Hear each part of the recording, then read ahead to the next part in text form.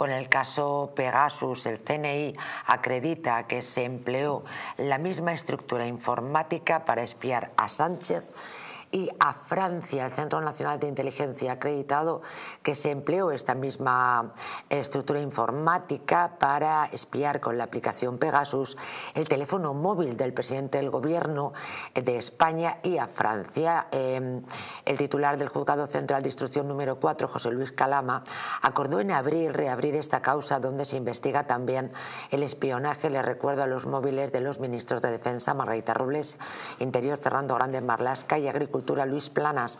Calama recibió una orden europea de investigación de las autoridades judiciales franceses que incorporaba una investigación llevada a cabo en el país vecino en el 2021 con la colaboración de Israel y Estados Unidos tras registrarse numerosas infecciones en teléfonos de periodistas, abogados, miembros del gobierno galo o diputados.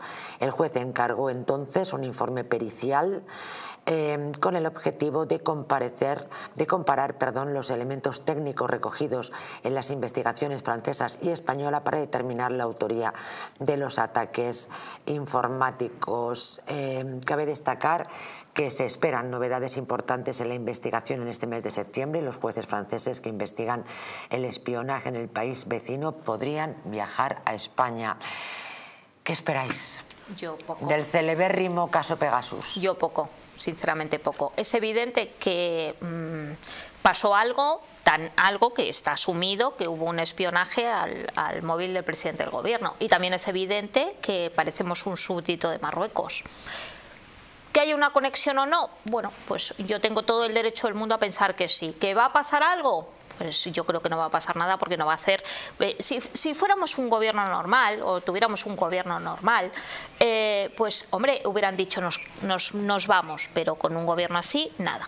La conexión temporal existe, una conexión exacta. Pegasus es, un, eh, es israelí.